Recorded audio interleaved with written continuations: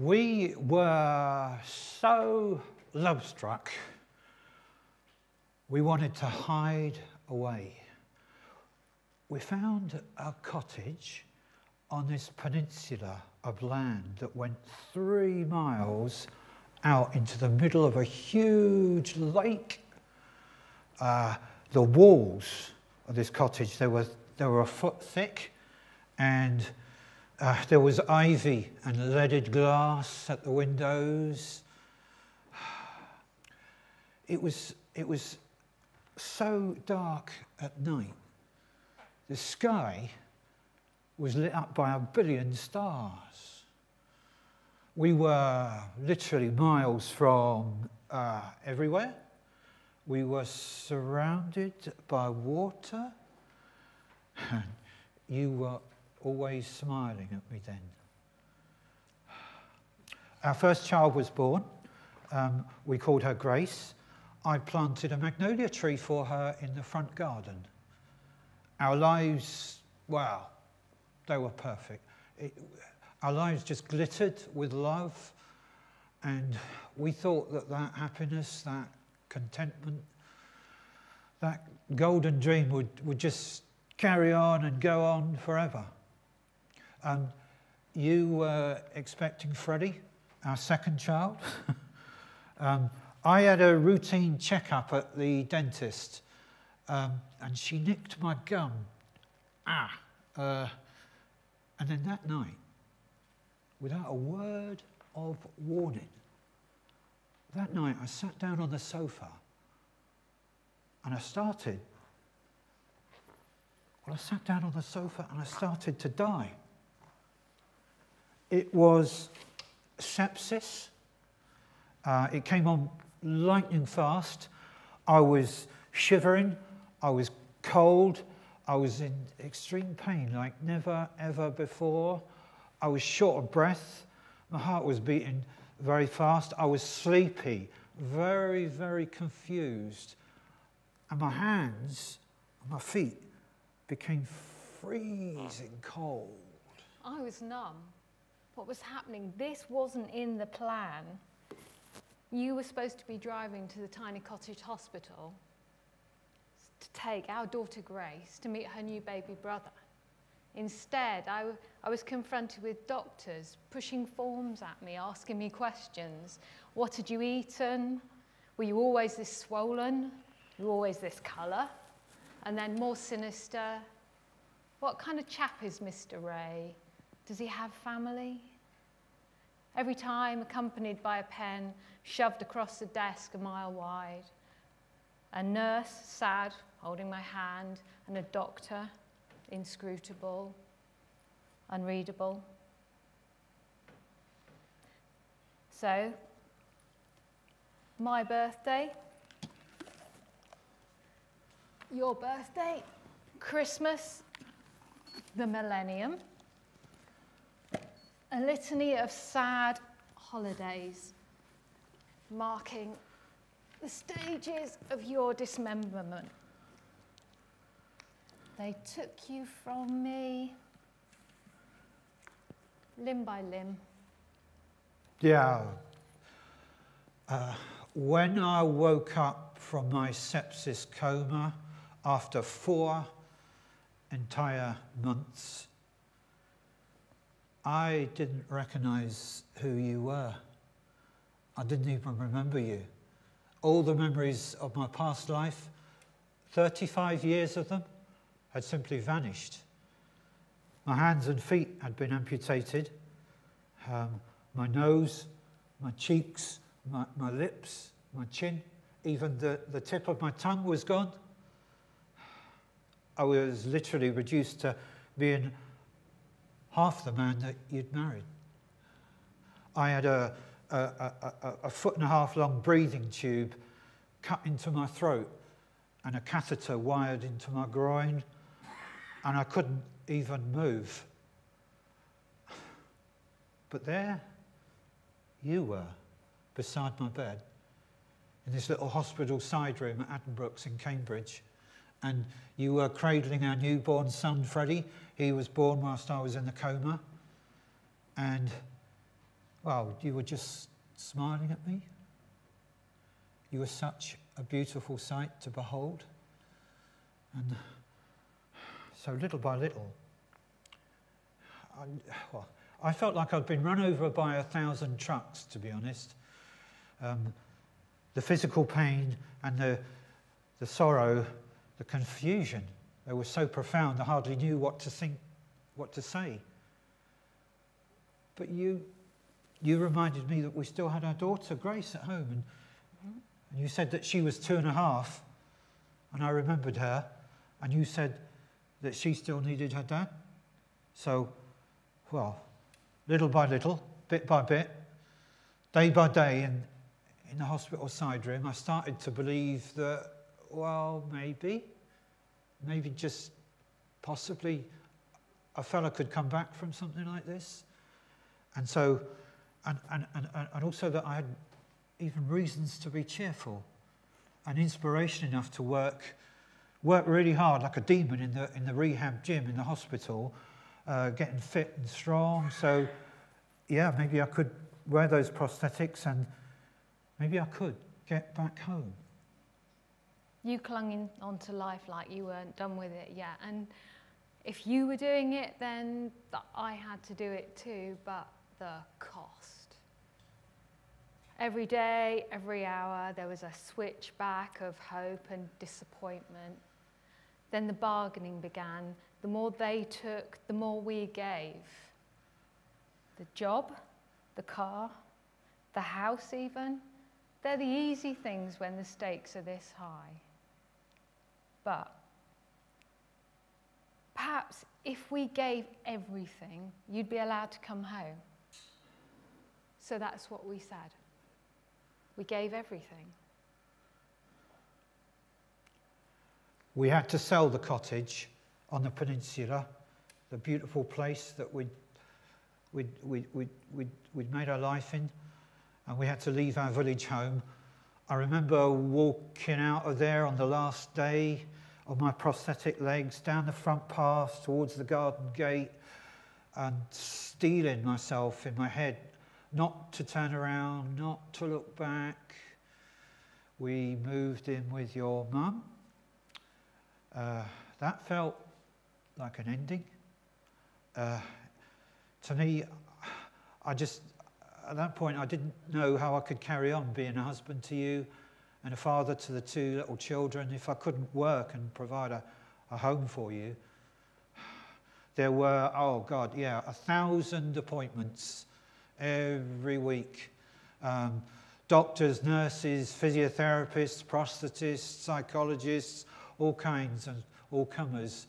And my stumps, my legs and my arms, they were always cut. They were always bleeding. And I sank. I fell into a deep depression. I, uh, I was just wrapped up in my own troubles and I didn't realize or understand how much pressure you were under we swam under the full weight of the ocean, 50,000 leagues under the sea.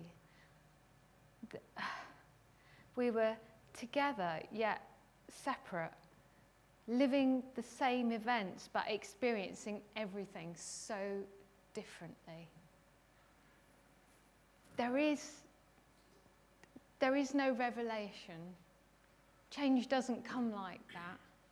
There is no road to Damascus moment, but actually what happens is when you do slow, swim, swim this slowly, you have to stare at every single grain of sand. I think I can stop my panicking mind. I can concentrate on a single grain of sand. I can absorb myself in drawing my own hand on the back of a hospital canteen receipt. I can lose myself in the ceremony of tea. Yeah, I, I, I had to put myself back together and find a way to function fast. Otherwise, it was clear to me I was going to lose what I had left. By this point, I'd lost practically all of my self respect and all of my self confidence, definitely. But, you know, deep down, what I still had was a sense of a sense of this creative man that I wanted to be. I wanted to be a writer, and and a lot of love inside still to keep me going. So, what did I do? What could I do? Well, I went out on my prosthetic legs with my robot arms. Look at this. Can you do that? It Goes the other way as well, look. I went out and I found a job. It was only part time, it was only on minimum wage, working in a call centre. Uh, but it was crucial, you know. It got me out of the house, back into society, and it got me back earning a little bit. It felt, felt to me like I had to give you a lot of space to be the person that you needed to be mm-hmm. so that you weren't just my carer. Mm-hmm. Um, and so the fact that I was busy at work, well, that was great for both of us. So I just threw myself into that routine, really. I went to work. Um, I learned to drive a car as well with these robot hands.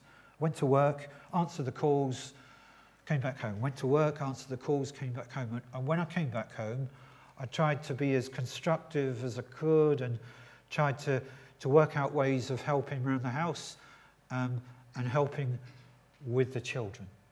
We were so proud the first day that Tom went back to work. I can remember thinking, this is a glimpse of a future where we're just average. And that's a really huge thing for us. I can, I can remember I took the kids to the local newsagent and yeah. they spent all their pocket money on stuff that stuck to their hair and their teeth and their skin. Uh, spent all the money, the £7.54 that you'd earned. £7.54 an hour is what I got paid. By the way, I did that job for 13 years. Um, yeah. And uh,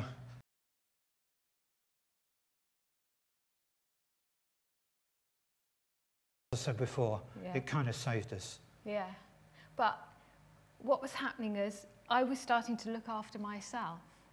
And if you look after yourself, then other people start to benefit as well. And that's the first place. The danger is that when something like this happens, temptation is to become a martyr or a victim. But actually, I think we sort of developed our own form of resilience. And it was not something that you're born with. There's an awful lot of rubbish spoken about that. There are different kinds of resilience that have been hijacked. But real resilience is actually finding in the moment when you most need it just a little breathing space, just a little thought that you hang on to and you remember it as a point in the future when it's really desperate, when you really need it. You think, I remember when I felt good there, that tiny moment, and you build on it. Doesn't matter how small, as long as you've got it, it will grow. Now, we're nearly two decades on from my medical crisis, and we've put it all back together mostly. We, um, I'm a professional copywriter. It's my dream job. I love it to bits. Uh, we made a feature film about our story. Let me say that again we made a feature film, like a, a proper big movie. It's called Starfish. It's been in the cinemas, it's out on DVD. We also wrote a book telling the story from our personal point of view. Uh, we speak in public now to encourage audiences to feel that they too can recover from their setbacks um, and also to spread the word about, about sepsis. Um, I've used relentless positive thinking to, to deal with my situation, combined with, with what I call a huge amount of creative determination. I'm from Essex and I simply will not be beaten. Um, I've let love be my inspiration. Love, purely and simply, to endure and sometimes to overcome the physical, spiritual, and mental pain that I still feel. It doesn't always work, by the way. You can't just will it always through, but generally, I get by. And what do I feel after all this time? Well, it's the simple, natural gratitude of still being here, still being alive. Hey, I'm alive. Still being a husband to this amazing woman, still being a father to two wonderful grown up kids, and still being able to take these kind of opportunities to speak with you. And really, what, it, what, what, is, what is it when we talk about resilience, Nic?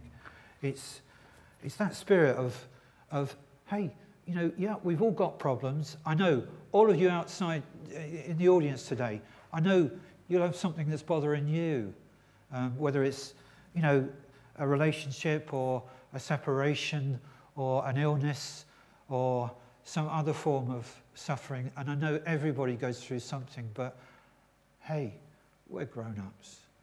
We can do it, we can overcome. And if I can do this with these plastic limbs, then you guys can tackle your situations as well and you can get through. There's one other thing I'd like to say before we wrap up. Um, and I haven't really often had the chance to say it in public, but I, I just have to say a sincere and heartfelt thank you to my wife, Nic. Really, literally, thank you for saving me. Thanks, Tom. Thanks for um, tolerating the intolerable. Uh, no, he's not the man I married, self evidently, but I think you might agree he's twice the man I married.